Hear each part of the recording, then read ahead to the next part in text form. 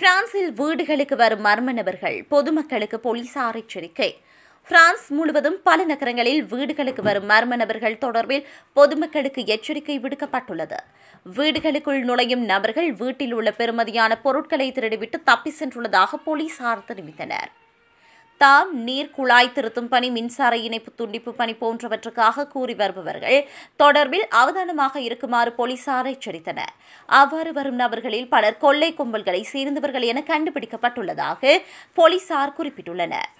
வீட்டு கதவை தட்டி வரும் நபர்கள் ஏதாவது அத்தியாவசிய துறைகளில் இருந்து வந்ததாக கூறினால் அவர்கள் தொடர்ந்து ஆராய்ந்த பின்னர் வீடுகளுக்குள் அனுமதிக்குமாறு போலீசார் கேட்டுக்கொண்டனர்.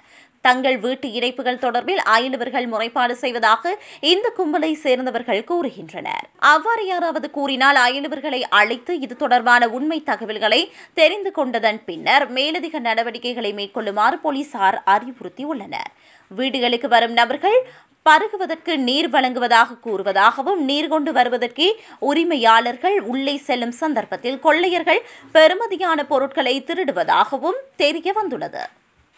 இவ்வாறான சம்பவங்கள் தொடர்பில் பிரான்சின் பல பகுதிகளிலிருந்தும் முறைப்பாடுகள் கிடைத்துள்ளதாக போலீசார் தெரிவித்தனர். இதனால் அதிகாரிகள் அல்லது துறைகளின் பெயர்கள் கூறி வரும் நபர்கள் தொடர்பில் விழிப்புடன் இருக்க வேண்டும் என பொதுமக்களிடம் கேட்டுக்கொள்ளப்படுகிறது